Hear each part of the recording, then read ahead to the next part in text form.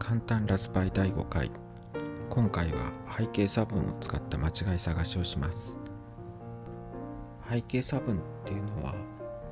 事前に撮った画像と今撮った画像と比較して差を見つけるというようなものです。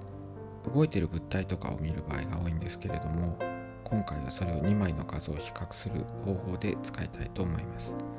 で今さっきっていう画像と今っていう画像と並べて写しています。で結果がこのようになります。うな重の消しゴムのうなぎがなくなって隣に金魚が現れています。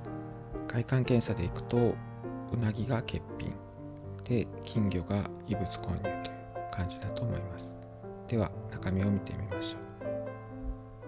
まず OpenCV をインポートします。で画像は事前に用意してありますのでさっきの画像を1番で取り込みで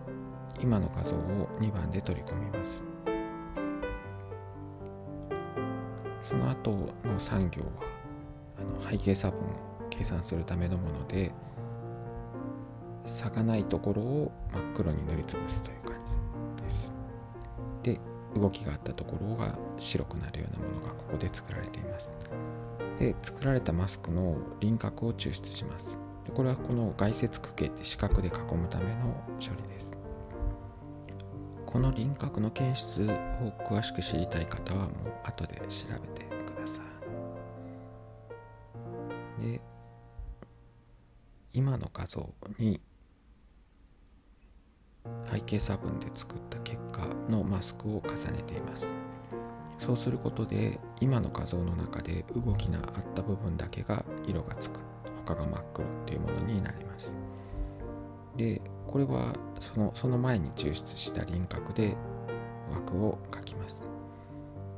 で小さすぎる枠と大きすぎる枠を除くものとその入れる数字っていうかここに出てるんですけれども、まあ、座標と幅ですねが出てますのであのそれを確認するために一度画面に出るようにしています。でその後その値でもって枠を書くと。これで四角い枠が書けるっていうのはまああの見てわかるんですけれども、まあ、外接区形の書き方とかはまた後々勉強していけばいいかなと思います。で間違いの結果を出力します。でこれは今画像にマスクしたものに、えー、外接区形をもう一度上から書いたようなものではもう一度実行してみましょう。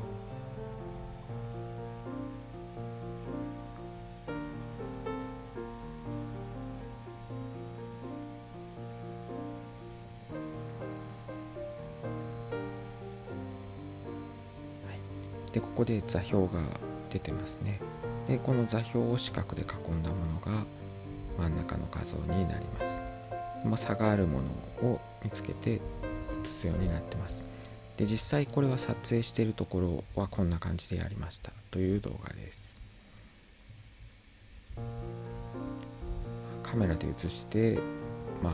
あのさっきっていう画像と今っていう画像を作ります。でこれは私が使った画像を撮影するためのものなんですけれども、えー、スペースキーを押すとさっき画像が保存されてでエンターキーを押すと今っていう画像が撮影されて保存されるようになっています。でエスケープキーで終わる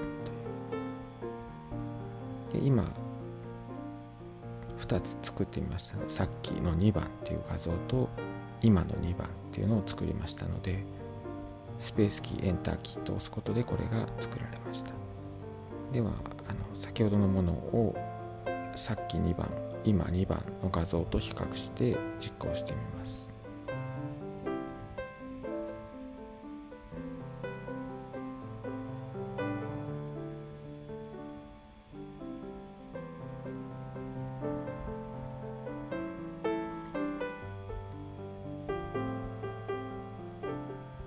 はい、結果だけちょっと一部飛ばして写しましたけれども、